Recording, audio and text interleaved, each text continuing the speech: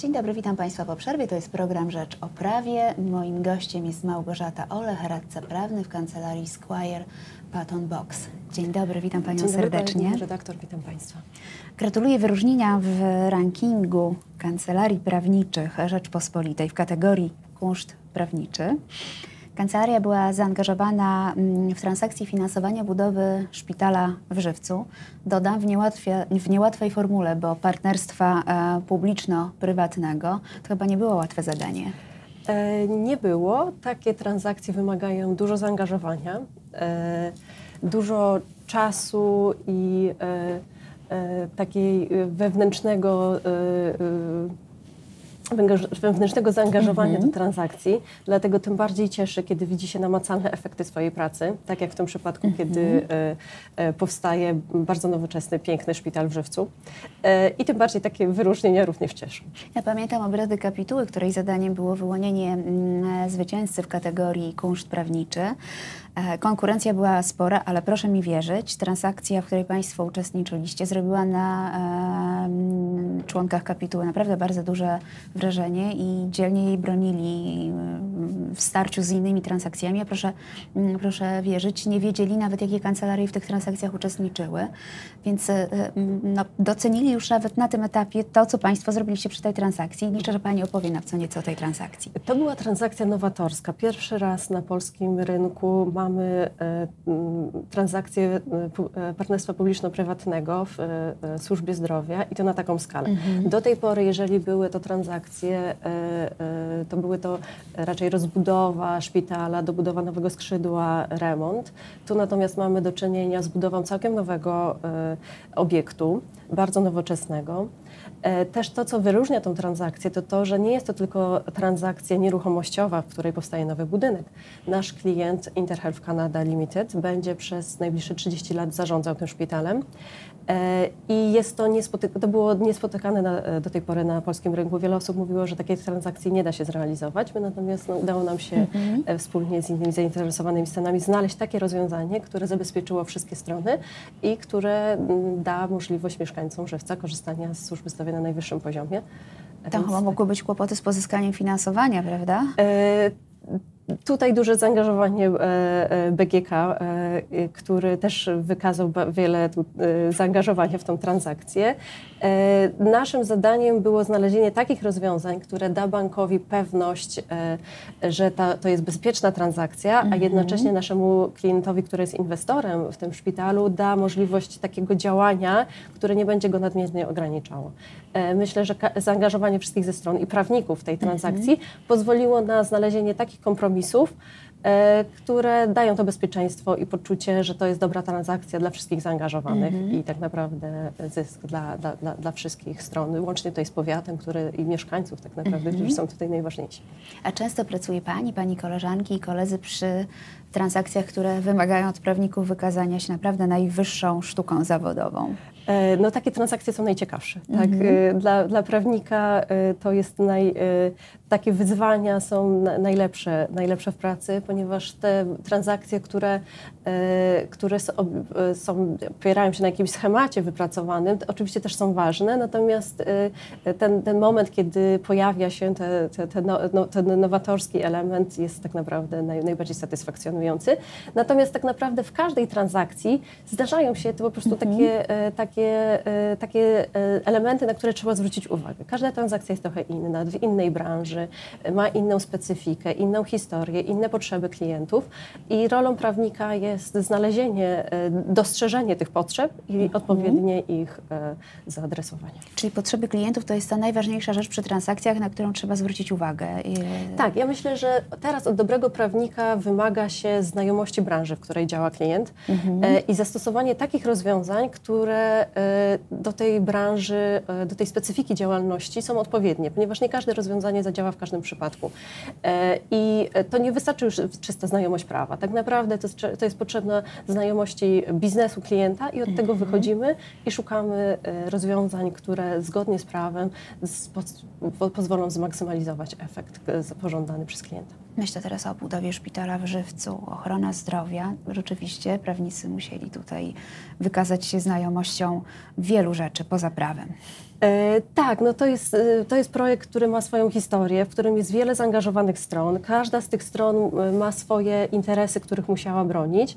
E, I, I z, z tych elementów trzeba było poskładać transakcję, która będzie satysfakcjonująca dla wszystkich, ponieważ na tym polega tak naprawdę partnerstwo publiczno-prywatne. To nie jest tak, że jedna strona wygrywa tak jak w procesie, a druga przegrywa. Tutaj wygranym mają być, mają być wszyscy. I ona, ta, taka transakcja ma przyczynić się do zwiększenia efektywności e, wydawanych środków, e, przy założeniu, że każda ze stron powinna wziąć na siebie te zadania, które jest najlepiej w stanie wykonać. E, A rolą, dlatego nie ma nigdy gotowych rozwiązań. Rolą prawnika jest właśnie takie uporządkowanie tej transakcji, ustrukturyzowanie, aby ta, ta efektywność mogła e, się pojawić. Mówiła Pani, że są transakcje, które odbywają się według jakiegoś schematu i są takie bardziej skomplikowane. Czy to znaczy, że zdarzają się takie transakcje, które bez zaangażowania prawników, ich pomysłowości i błyskotliwości nie miałyby w ogóle szansy dojścia do skutku? Na pewno są transakcje, w których e, klienci mają swoje własne działy prawne i w których e, e, oni takie działy prawne sobie świetnie radzą. To nie, nie ma co ukrywać. Natomiast nie, nie, nie sądzę, żeby w dużych transakcjach można było działać na obecnym rynku bez pomocy prawnej, bo może to doprowadzić, kie- kiedy coś się wydaje proste, klient może nie zdawać sobie sprawy z pewnych ryzyk, które tak naprawdę prawnik będzie w stanie wskazać i wskazać drogę, którą trzeba podążyć. A co jest przy obsłudze transakcji dla prawnika najtrudniejsze? E, Myślę, że właśnie to zrozumienie potrze potrzeb klienta, tak? E, Nie, nie podpadanie w taką sztampę i w, e, w, taki e, w, takie modelowe podejście. To jest 50. transakcja, którą robimy, robimy ją za każdym razem i trzeba jednak znaleźć tą specyfikę, znaleźć potrzeby klienta i je odpowiednio, odpowiednio do nich działać. A klient pewnie też przychodzi czasami, no, mówi o co mu chodzi, ale nie do końca tak, że, że wiadomo od razu, że to ma tak wyglądać. Klient, który wie o co mu chodzi, jest na- doskonałym klientem. e, Natomiast Ale nie są wszyscy tacy są. Natomiast są klienci, którzy mają pewną wizję co do tego, co chcą, chcą osiągnąć. Natomiast my musimy, naszym zadaniem jest pokazanie, jakie Mhm. są możliwości prawne i tą jego wizję, która jest tak naprawdę naszym tutaj głównym celem, zrealizowanie w ramach tych rozwiązań prawnych, które są dostępne. Dużo transakcji Państwo obsługujecie. E, Tak, tak, bardzo dużo, więc jesteśmy e, zajęci. A jak Pani ocenia rynek usług prawnych? E, To, co dzieje się na rynku? Jest, jest trudno na tym rynku się odnaleźć, czy też ci, którzy są na nim ileś tam lat, nie mają naj, najmniejszych problemów? Jest duża konkurencja, coraz większa, ponieważ prawników z uprawnieniami jest coraz więcej. Natomiast wydaje mi się, że dla prawników, którzy czymś się wyróżniają, czy którzy mają pewną, pewne doświadczenie w jakiejś, jakiejś, jakiejś dziedzinie prawa, czy też niszowej, czy też nawet takiej bardziej ogólnej, e, e, znajdą swoje miejsce. Tak samo znajomość języków jest kluczowa, także dla ewentualnych studentów prawa tu e, znajomość języków jest na tym rynku teraz niezbędna. Czyli znajomość prawa, znajomość języków, a do tego jeszcze znajomość rynku. Zakładam, że poza prawem to też trzeba jeszcze skończyć jakiś kierunek, może ekonomię. Ja, ja studiowałam też na Uniwersytecie Ekonomicznym w Krakowie, więc ja akurat mam takie doświadczenie. A y, prawnicy pracujący w Państwa kancelarii to, to, są y, prawnicy po prawie, czy też y, jest tak, że jakaś część tych prawników ma dodatkowe wykształcenie?